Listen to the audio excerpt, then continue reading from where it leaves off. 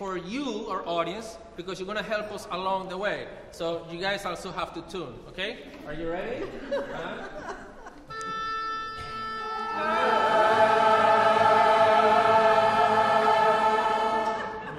Perfect. Great. So we're going to start with one of my favorite stories ever. It's the story of Scheherazade. And Scheherazade was a princess, and she was very good about telling stories. And there's a composer from Russia whose name was Nikolai, and he wrote a whole entire suite. We cannot play the entire suite for you, but we can show you how music turns all of these characters very quickly into music. So we're going to play the beginning of Scheherazade, and you're going to see two characters. You're going to see a big sultan, the king, and he's going to be played first. He comes in from the back with the low brass. And then Scheherazade, the princess, is represented by the violin, which is going to be played in a solo here. And the piano represents the pages of the book turning. It's the magic of the story happening. So let's listen to that, and then I'm going to introduce you to all the rest of the orchestra little by little.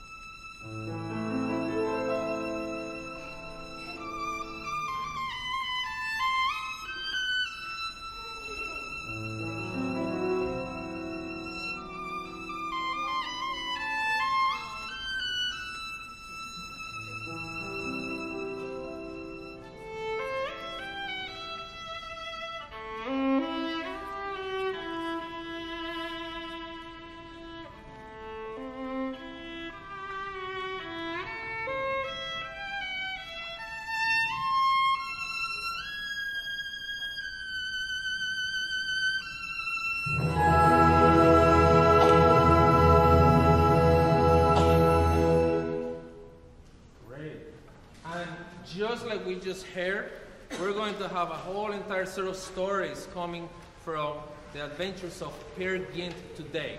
And little by little, you're going to see characters like this one. But before we go on, let's introduce the orchestra. Let's start with the strings. And the strings, as you can see, they are in front. And we're going to play something called Anitra's dance. And Anitra's dance is another princess, a Bedouin princess. And she is dancing for Peer Gynt as he has come into the northern African desert and found a tribe of Bedouins. So you're gonna hear this rhythm in three and this very, uh, very beautiful melody that goes around the orchestra.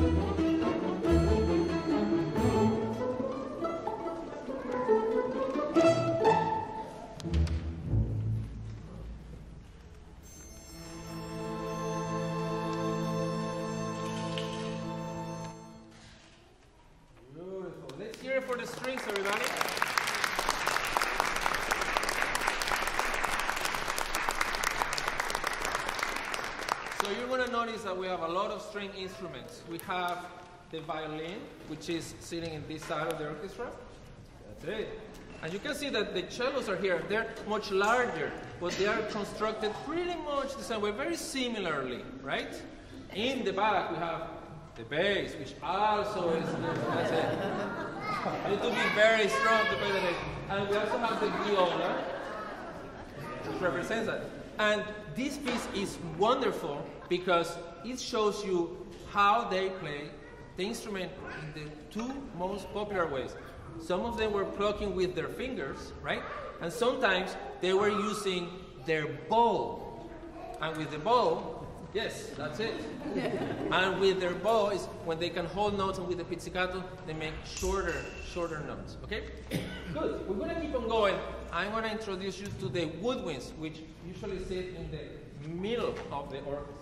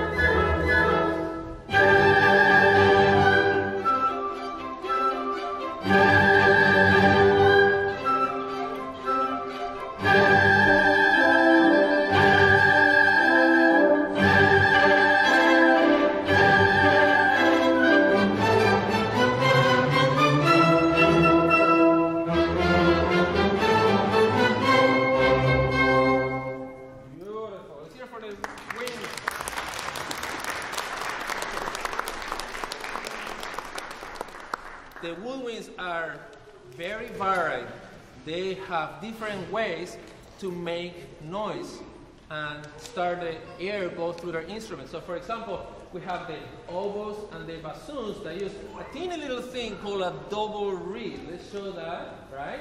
And when they blow through it, it sounds like this.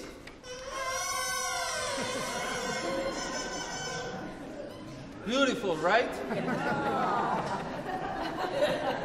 Good. And then next to it, we have instruments that only use one single reed, and that is called the clarinets, which are back there. And when they blow through the instrument, if they can, it sounds like this.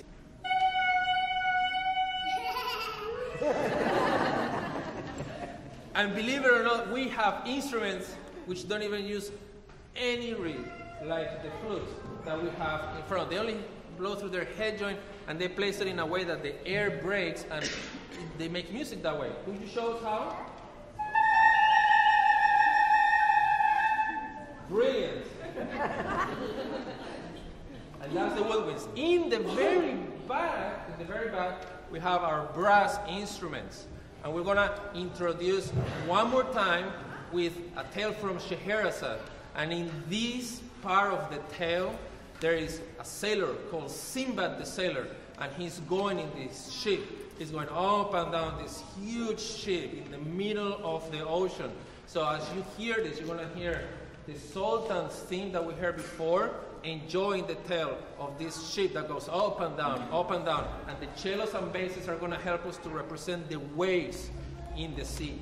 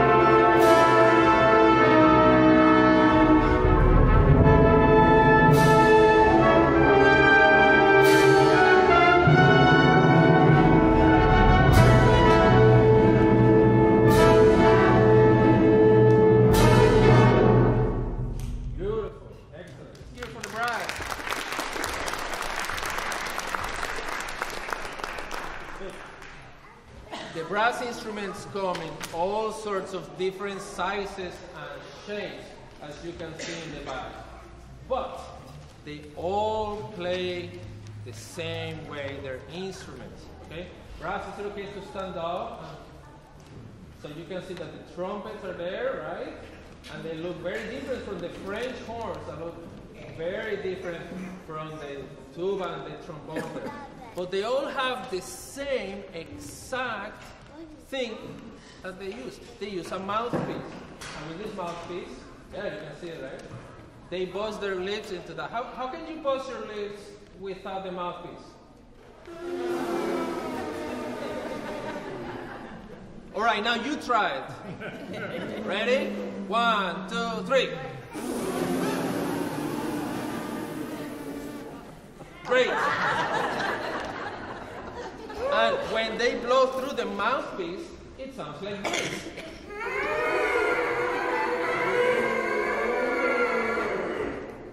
Frank, good.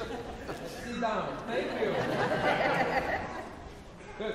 Finally, we have the percussion. And the percussion, we have it over there. The percussion has a lot of instruments. We're going to play a little excerpt also from Peer Gynt when he's among the Bedouins. And there's a lot of other dancers. You're going to hear that the flutes are going to help with this Arabian sounding melody while we have all sorts of exotic instruments playing.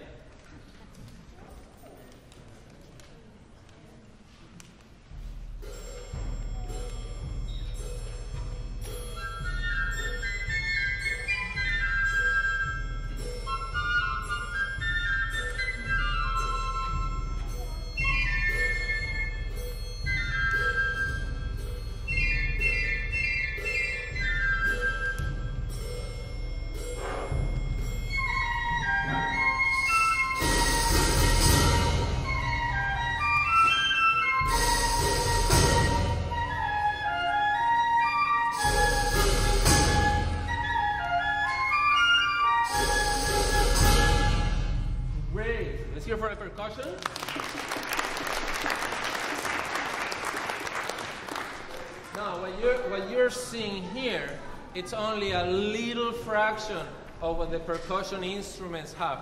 There's a number of, a lot, a lot, a lot of percussion instruments. So, for example, Bob, who's sitting back there, he's sitting around the timpani, which is a set of drums that actually are tuned to certain pitches. Would you mind playing a little bit of the timpani for us?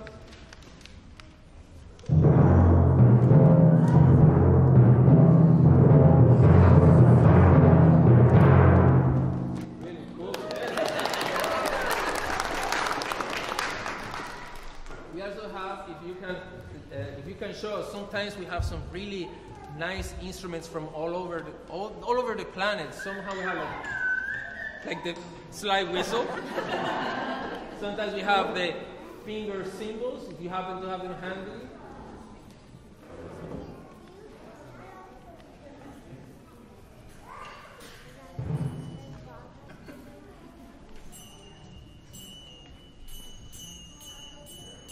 Very nice. And we also have the ratchet, which makes a very funny sound.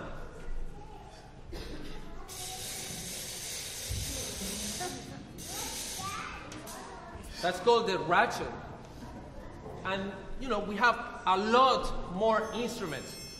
Yeah, like the triangle, for example. So, excellent. So now we're going to yes, like the triangle. So as we continue, yes, yes, the triangle. I, we, we, we got it. It's okay, it's okay. So now you have heard the whole entire orchestra, all of the sections. Okay. Now here's something really, really special. Sometimes, sometimes one of these instruments is featured as a soloist. There's a person that can play this instrument very, very, very, very well. And today we are really lucky because we have a very, very good cellist who has come here to join us playing some gorgeous music. So I want everybody to put your hands together and give a warm welcome to Nathaniel Abreu. Let's hear it.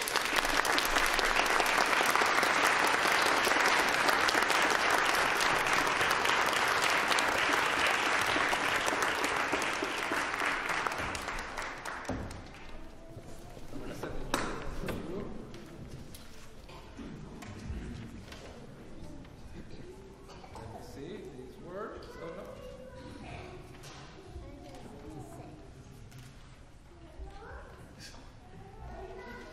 I'm not good at this. Yes. Yes. Okay. So this is for you. Now, I have to tell you, Nathaniel Abreu competed in our yearly competition in the Philharmonic Society, and he really impressed all of the judges with his musicality and his technique. So we are really, really lucky to have him here. And uh, I thought we would talk a little bit uh, about you. I mean, this, this was a competition for young players. How old are you? I'm 17, You're 17? When is your birthday? uh, July 11th. Wow, July 11th. Okay, coming up soon. And now, tell me something. You're 17. How many years have you spent playing the cello?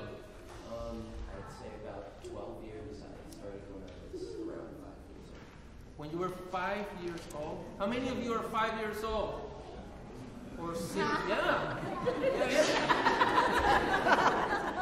Wow, so he started when he was five years old. And tell me, do you do you practice a lot during the day? Um, yeah, I mean, it varies, but I try and practice uh, maybe two to three hours every day, but sometimes more or less. Sometimes depending. more. Yeah. I know, I know because he has told me he's very busy now traveling the country auditioning for colleges. Is that, is that so? So we are really, really lucky that he had time in his busy schedule to join us. We're really grateful. Tell us, um, we love how your, your cello looks. Can you tell us a little bit about your cello? Uh, yeah, so this instrument was, um, it's a Chinese-made instrument, but it was assembled in California, and I uh, bought it in Boston at one of the local shops near NEC. Um, and uh, we were really just uh, impressed with the quality, um, even though it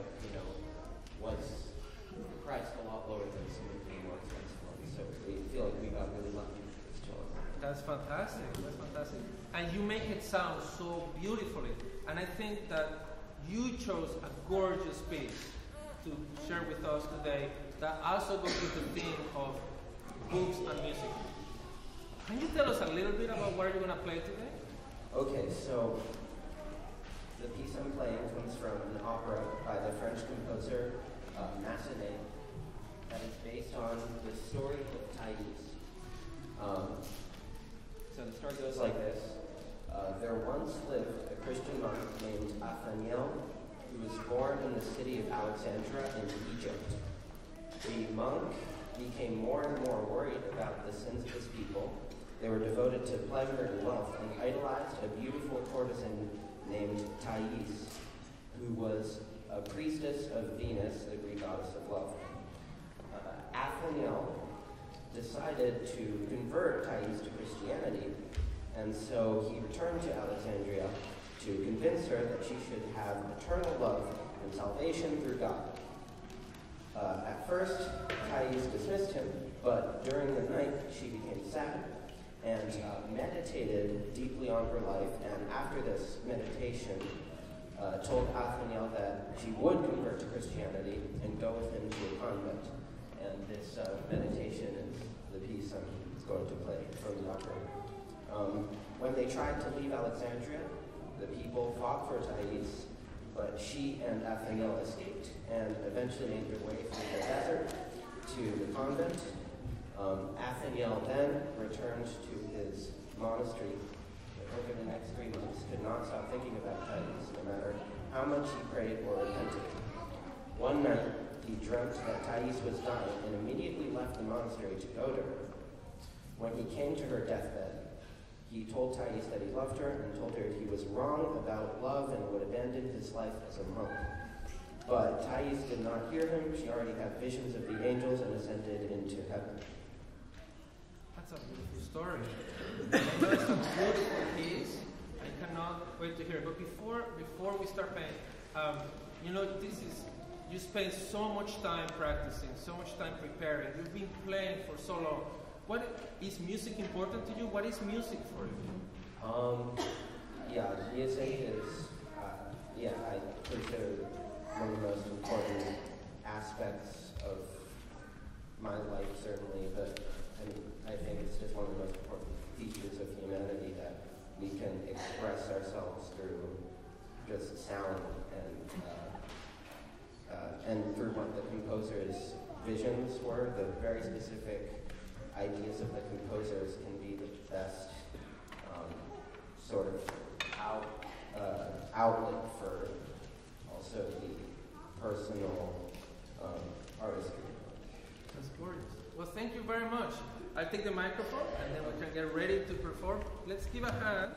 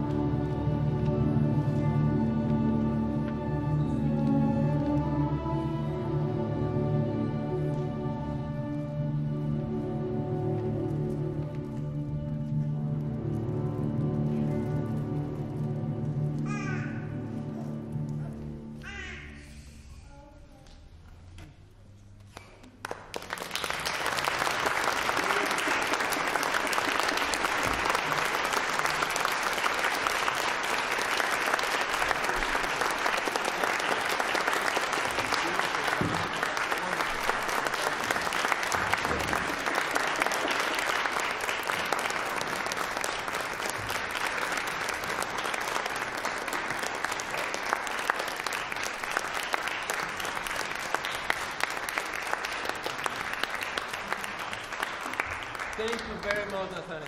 That was beautiful. Wasn't that just absolutely gorgeous? Thank you so much for being here today. Thank you. We're going to continue with the rest of the program. We're just going to move a little bit of things here. So, share with this. I move this.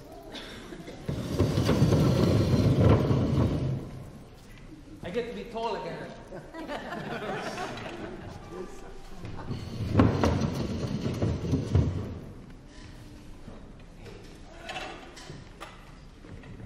Okay, so now we're going to continue with the stories and the adventures of Peer Gynt. And uh, Gynt is a little bit of a naughty boy. He's usually gets in a lot of trouble. And sometimes he can get in trouble because this is a tale with really interesting characters, such as trolls that live in the mountains and below the mountains. So this is what we're going to do. We're going to tell you how this fantastic composer called Edvard Grieg decided to paint this picture of Peer Gynt escaping from the trolls after he made them very, very, very mad. And for that, we're going to need three things. We're going to need melody, some harmony, and some rhythm to put together this really, really, really nifty piece. Okay, but you're going to have to help me along the way. Okay? Are you going to help me along the way? Yes. Thank you. Let's do it. Okay? So the first thing we need is some melody. So we're gonna play this very, very nifty melody for you that repeats all over the piece. It's only one melody in the whole entire piece. And with that one melody, he creates a whole entire race, a whole entire like scale. So the melody sounds like this.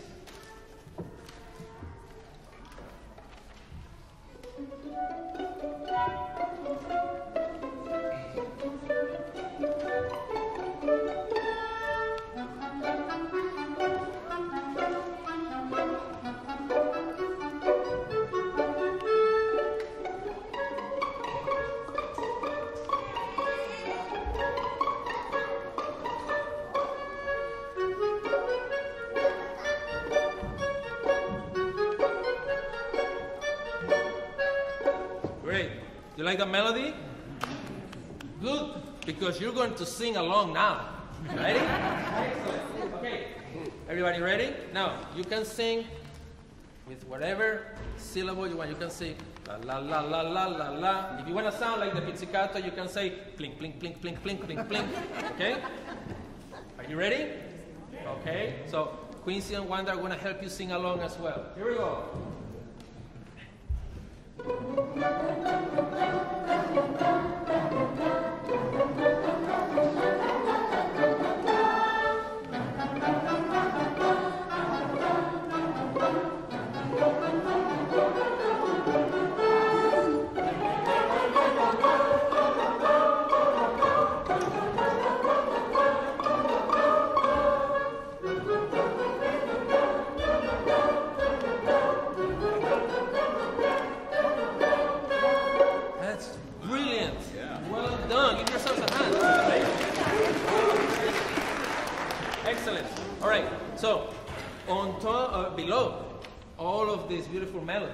we're gonna have to have some harmony going on, right? Beefing up all of this, and the harmony is gonna always remain the same, but it's gonna change the way that he uses the instrument to make it more and more scary as things go along. Okay. So let's hear some harmony.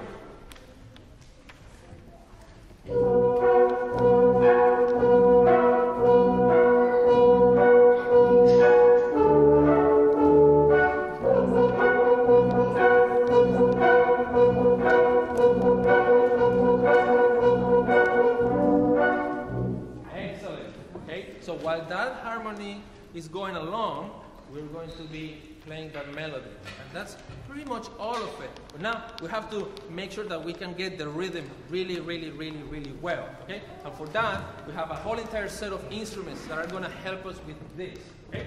So this is what we're going to do. The rhythm is very simple. This is very evenly divided. So I'm to ask this half of the room to clap on one.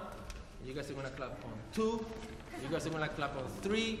And you're to clap on four. It's very, it's to be like this. Clap, clap, clap, clap, clap, clap. You know which half is which?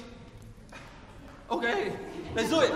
Ready? Let's do rhythm. Okay? So, Wanda, you conduct them. Quincy, you can conduct them. Here we go.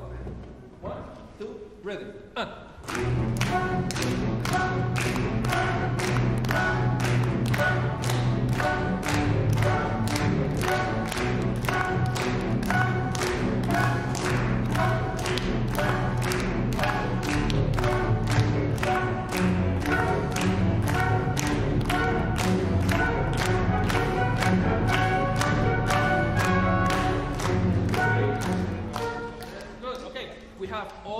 Elements ready. Now, I'm gonna have to tell you a secret. Not many people know this. Not many people know this, but this piece is gonna get really, really, really, really, really, really fast towards the end, and suddenly there were some gaps in the music. The music stops, and there's a little teeny bit of silence, and then there's some music, and there's a teeny bit of silence. Well, I told you this comes from a book. This comes from a play. And in the play, the trolls are almost getting him. And this is, this is all true. Ibsen, who wrote the play, said, in those moments, the trolls are saying, Get him! Get him! Okay? So that's what you're going to have to do. We're to rehearse this in a second. Okay? So as soon as you hear the rest, you're going to have to say, Get him! All right? Let's try that. Ready? Say. Get him! Oh, come on. Scary trolls. Come on. Get him! Ah, much better. Okay? But there's more. There's more. Okay? At the end of all of this, the timpani is going to roar like a troll. And I figure we're going to do the same. Okay? So I want to hear your best troll roar. Right? And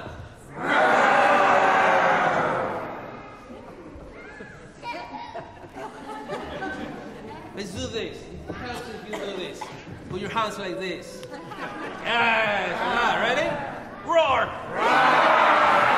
Okay. We're gonna rehearse this. Are you ready? We're gonna rehearse this, and then we're gonna do the piece. Ready? Guess letter D. Letter D. Ready? Ready?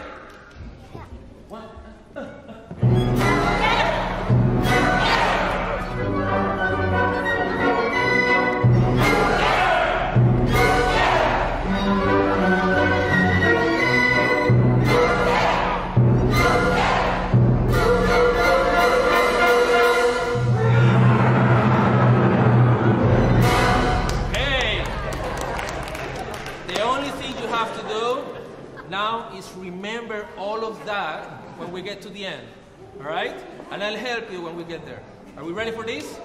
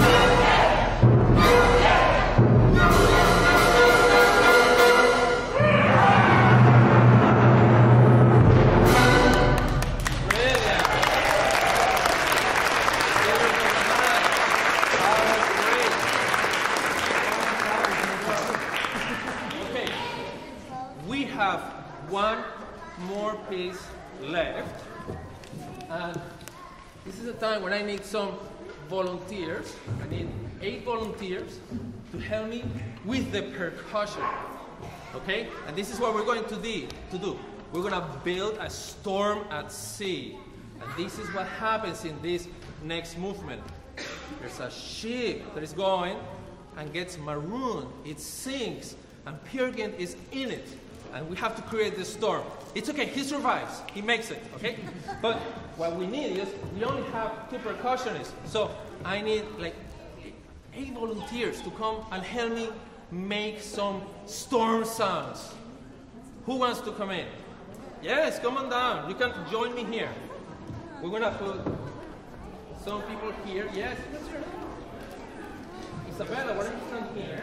Okay, you're gonna face this way and come on up this way. Yeah. You're gonna be next to Isabella. Great. And you're gonna be here. And Miruna, you're gonna be here. Very good. And I'm gonna put you here. We're gonna make another side here. So come over here. What's your name, buddy? Andre, I'm gonna put you right here. And you're gonna be next to Andre. What's your name? Kara, I want to put you right here next to Andre, and you can face this way, okay? Right where I'm standing. Excellent. You can be here, all right? And one more, maybe one more. All right, one more. Yeah, you can be here. Okay, good. And you're gonna stand up here. What's your name? Arthur. Very good. So you guys are gonna have to stand up like here in a very nice line, right? And very good. Right? So now Quincy is gonna help you with some instruments. Stay, stay there. Stay very quiet. So good. So I'm gonna give you a rain stick. A rain stick. You play like this. Be careful, okay? And it sounds like rain, okay? So just be careful, don't hit anybody because it's very long, okay? And I give you a rain stick. It's just a little smaller. Yeah, oh, very good. Okay, you're gonna do this all the time, all right? You're going to get the thunder too. Okay, can you try that? You shake it a little bit. Just shake it a little. There it is. Okay, and oh wait, we have more. We have more. Okay, let me let me help you out, and we're going to be doing with.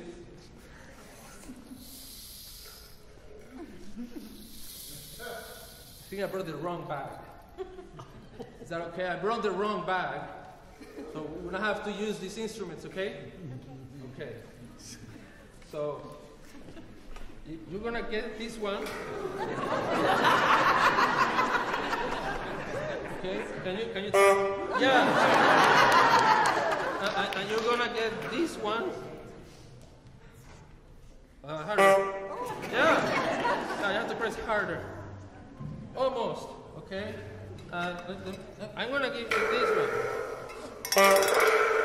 There you go. And, and I think I'm going to, well, you know, um, Gonna, can you phone?